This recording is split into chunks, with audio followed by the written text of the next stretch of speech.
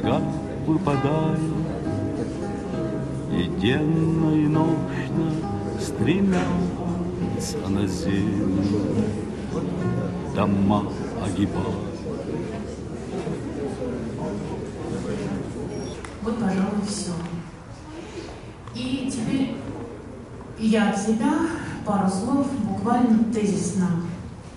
А, мой отец отдал 30 лет жизни Московскому авиационному институту. И, наверное, ну, заслужил право быть, заслужил право последнего прощания в стенах моей. А, мой отец имел звание академика Российской Академии Наук. И я думаю, что мы могли бы с ним проститься в стенах РАН. А, мой отец имел ранг чрезвычайного и полномочного посла. И, наверное, тоже заслужил право прощания в стенах МИДа. Но он нам с сестрой сказал, я хочу в Сахарский центр, потому что туда придут люди, которых хотел бы видеть я. Поэтому всем спасибо и долгих вам лет жизни. По городу бродя. И денно и ночно Я черная птица И ты голубая. Над Ригой шумят Шелестят снегопады Утопли дороги. Недвижны трамваи Сидят на перилах Чугунной ограды Я черная птица И ты голубая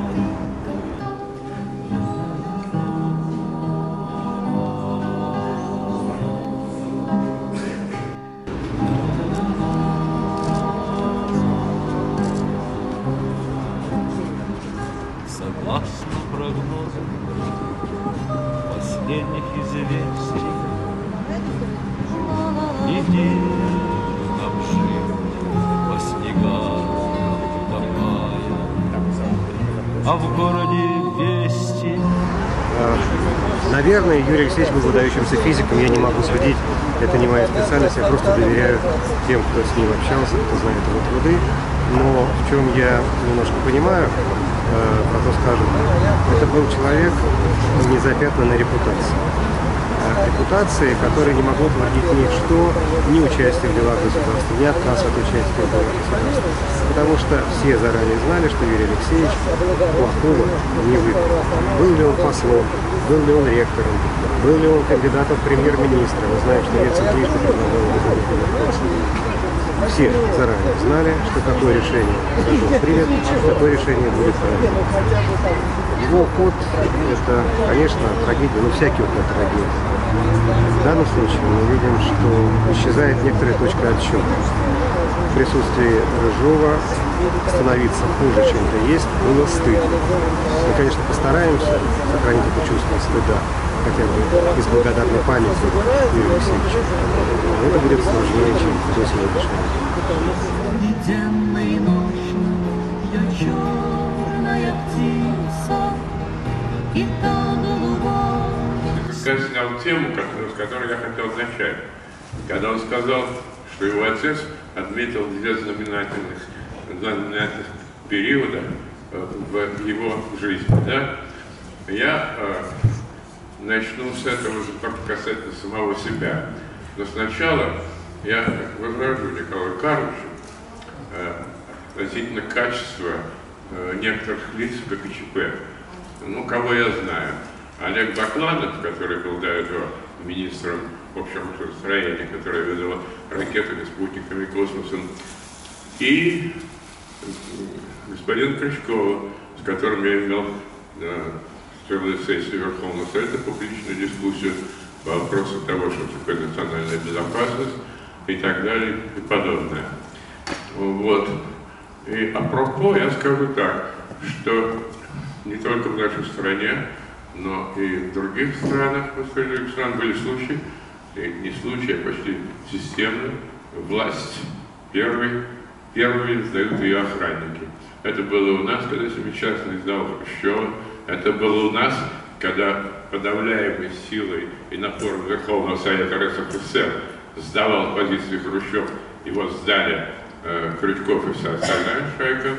И относительно личных качеств господина Крючкова скажу, что это был очень несильный, э, паркетный человек, который воспитался э, при Андропове, когда там подавлялись будапештские события, и он его волок и волок, и доволок до первого главного управления разведки КГБ, хотя там и до, и после были люди очень высокопрофессиональные в этом смысле, работавшие в поле. Господин Крючков в поле никогда не работал, он работал на паркете, и таким слабым не оказался, и слава Богу.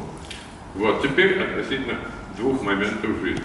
У меня, я отмечаю очень существенный для меня момент жизни в профессиональной области, когда мне пришлось вести э, горячее испытание, мне было 25 или 26 лет, я только два года назад как окончил Московский физико-технический институт, и были авральные испытания, в которых были допущены нашим начальством два инженера, такого типа, как я, один из них заболел. И потом я вспоминал этот период, когда я 72 часа работал, успевая подремать какое-то время, отработал подряд, потом сутки я спал в Москве, потом вернулся в Жуковский, еще раз 72 часа. Никаких высоких научных достижений. Это был штурм, когда нужно было довести дело до конца. Горячее испытание, немыслимое ни до, ни после, все разговаривали на личной круге. Все. А второй, звездная часть, я считаю, это вот то, о чем мы сегодня вспоминаем. Вот эти два, два момента являются так, опорой для меня в воспоминаниях старческих, а это свойство. Старикам мне пора уже давно подвести итоги, было бы я слишком поздно начал, а потому я заканчиваю, скажу, э, можно рассуждать, кто выиграл, кто проиграл, но по сегодняшнему состоянию проиграла страна, по-моему, проиграла окончательно. Народ проиграл. Спасибо за внимание. Пока.